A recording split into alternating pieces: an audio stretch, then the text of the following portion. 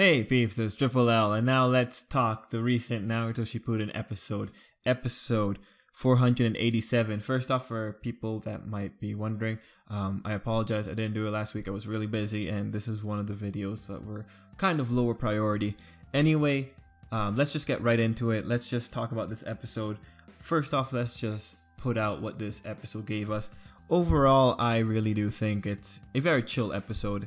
It's alright this episode gave us a little bit of a fight at the beginning and then it just went into full on flashback just to I guess flesh out the motives and the past of the antagonist. And if you were to kind of really try to pull something meaningful out of this episode uh, you could have maybe a discussion on the philosophies or the logic of what transpired in the episode, the logic of the people who did wrong to the Lightning Gang and the way that the Lightning Gang retaliated. That'll be probably the the most discussion you can really draw out of this episode. But anyway, let's just get right into the episode and let's just kind of break it down now. So the thing with this, the thing with the Sasuke redemption story, um, this novel that was now adapted into the anime, the most interesting character here is of course Sasuke and then every other character that we knew from Naruto Shippuden.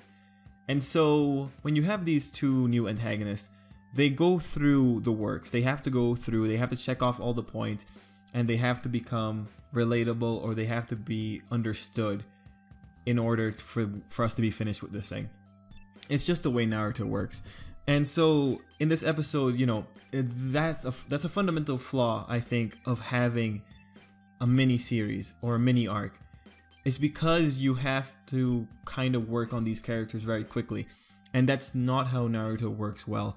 If we look back to Naruto itself, if you think back to enemies like say um who can who can we talk oh Madara in particular yeah he's the biggest example he was a character that everyone knew about for years and he was much well he was way better received when it was coming to the final fight. And then when Kaguya came out of nowhere, you know, there was just no connection. There was no real kind of satisfaction when the guys beat her down because she's a character that just really wasn't established. And this whole thing about establishment is something very important for Naruto because that's how it kind of works. Itachi was a good villain or was a good character because he was established all the way throughout Naruto. Let's see other people. Pain Pain was okay. Pain had more episodes to work with, but he was established through his relationship with Jiraiya and then his culmination with Naruto. Again, that one was a bit sped up, but hey, it was still a bit better than this. When it comes to the to these enemies, the Lightning Gang, it's really a case of where you're seeing what Naruto does over a long period of time being compressed in effectively one episode.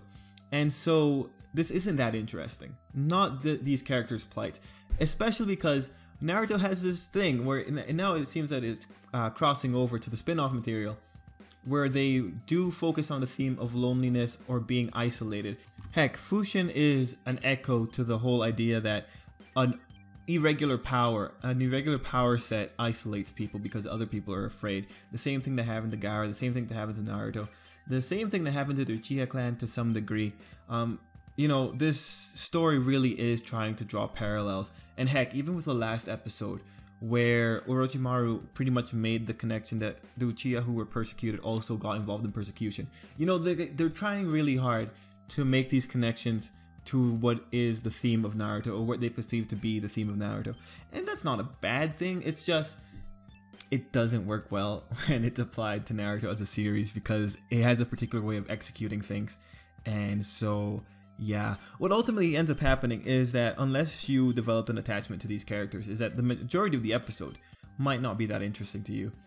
For me, you know, the majority of the episode with the flashback, the whole thing about human nature, seeing that the gang got turned away, you know, that's an interesting thought. It's the idea like people are with you when you're high, but they're nowhere to be seen when you're low.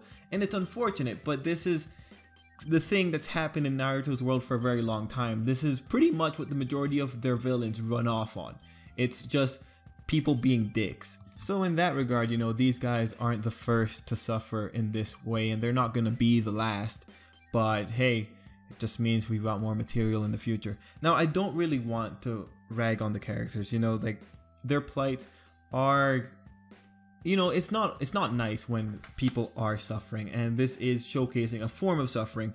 Um, now the interesting thing is what how quickly uh, Chino actually resolved to have revenge. It was very fast. The moment she got to her I guess ancestral homeland she just triggered. And actually seeing how she discovers the ability to blow up people was actually very interesting. And seeing that just the moment she got that power she just triggered it into full-on revenge mode.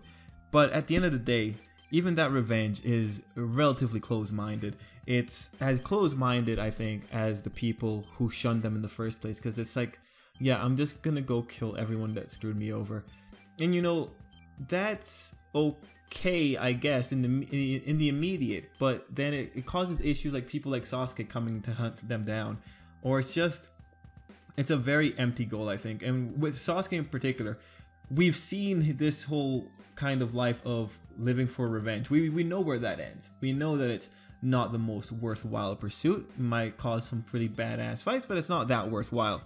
Overall, you know, it's an interesting plight, but at the end of the day, these characters are short sighted, and this very series that is Naruto has already proven to us that these characters are short sighted by the mere existence of Sasuke. Now, other things that I find interesting, um, well, the fight was pretty interesting. It was cool to see Susanoo again, and it was cool to see uh, Sasuke kind of deal with good old Fushin. Um, let's see, other things.